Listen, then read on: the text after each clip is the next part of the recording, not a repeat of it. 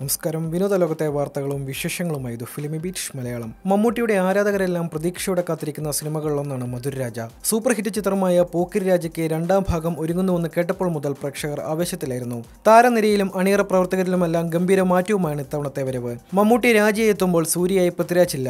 വിഷുവിനാണ് cinema തിയേറ്ററുകളിലേക്ക് എത്തുന്നത്. പോയ പ്രൗഢി തിരികെ നേടി ബോക്സ് ഓഫീസിലെ താരമായി നിറഞ്ഞു നിൽക്കുകയാണ് മമ്മൂട്ടി. കൈനിറയെ സിനിമകൾ സ്വീകരിക്കുന്നതുമായി ബന്ധപ്പെട്ട് അദ്ദേഹത്തെ വിമർശിച്ചവർ പോലും ഇപ്പോൾ കൈയടിച്ച താരത്തിനൊപ്പമാണ്. മലയാളത്തിന് പുറമെ തമിഴിലും തെലുങ്കിലും വരവറിയിച്ചാണ് അദ്ദേഹത്തിന്റെ കുതിപ്പ്. നെൽസൺ ഐപ്പാണ് സിനിമ നിർമ്മിക്കുന്നത്. ഇതാദ്യമായിട്ടാണ് അദ്ദേഹം ഈ രംഗത്തേക്ക് കടക്കുന്നത്. സിനിമയിൽ തുടക്കം കുറിക്കുന്നതിന് മുമ്പ് ദുബായിൽ ടാക്സി ഡ്രൈവറായി ജോലി ചെയ്തിട്ടുണ്ട് അദ്ദേഹം.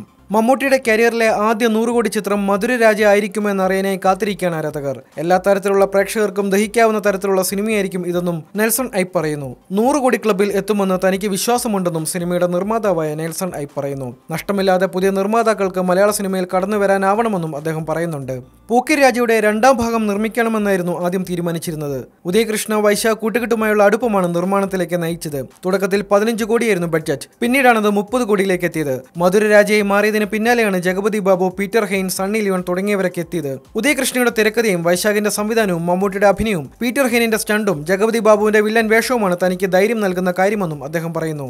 മാതൃഭൂമി ന്യൂസിന് നൽകിയ അഭിമുഖത്തിനിടയിലാണ് അദ്ദേഹം കാര്യങ്ങൾ വിശദീകരിച്ചത്.